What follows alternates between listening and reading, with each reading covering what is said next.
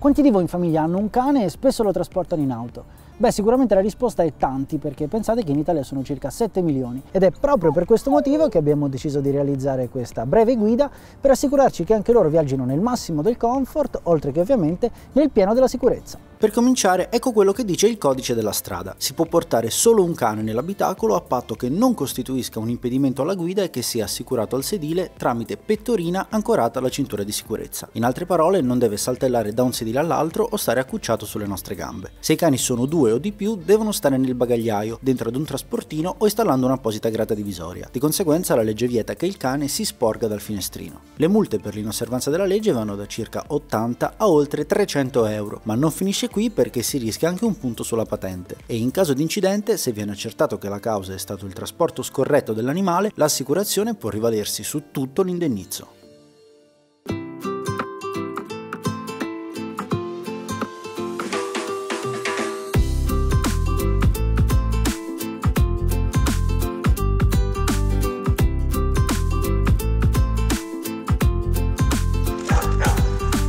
Parte la legge poi c'è il comfort, vostro e del vostro cane. E allora sono venuto in un centro cinofilo per farmi spiegare direttamente da chi di animali se ne intende le nove cose da non dimenticarsi mai. Magari alcune vi potranno sembrare scontate, ma un ripasso non fa mai male.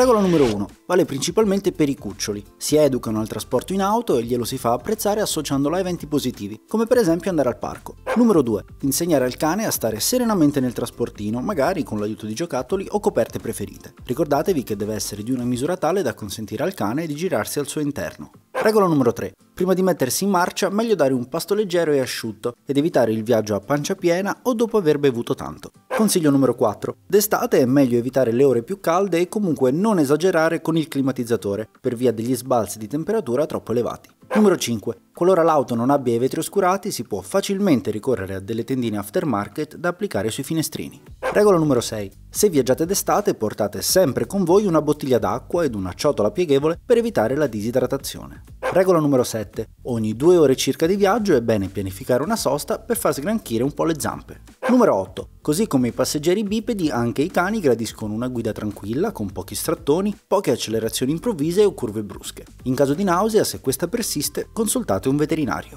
Numero 9. Non dimenticate di portare sempre con voi un kit di pronto soccorso. Ok, per adesso abbiamo parlato delle cose da fare o non fare, ma tornando alle auto, generalmente chi viaggia spesso con i cani apprezza versatilità e spazio di station wagon e di SUV. Va detto però che queste non riservano agli animali le stesse attenzioni e da questo punto di vista la maggior parte di voi si ricorderà la Nissan X-Trail for Dogs del 2017 che ha approvato Giuliano, progettata proprio per far fronte a questo tipo di esigenze. La buona notizia è che quel concept ha riscosso così tanto successo che ora una sua versione un po' rivista è arrivata sul mercato.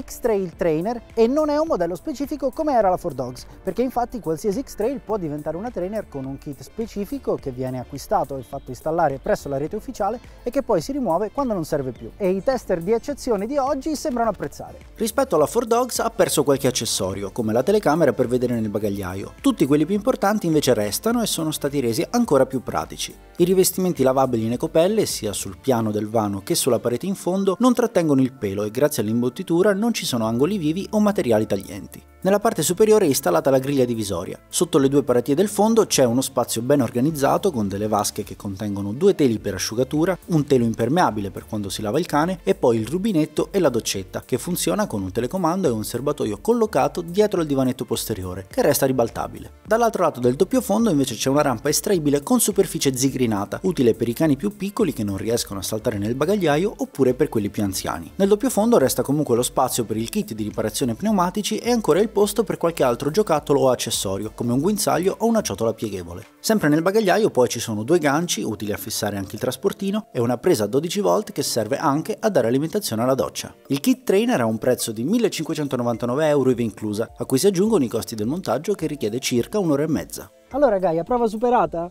La cosa da tenere a mente comunque qualsiasi modo e qualsiasi auto scegliate per muovervi con i vostri amici è che tutto sia fatto a norma di legge, con accessori omologati e seguendo il vostro buonsenso, in maniera tale che le vacanze siano un piacere per davvero tutti i membri della famiglia.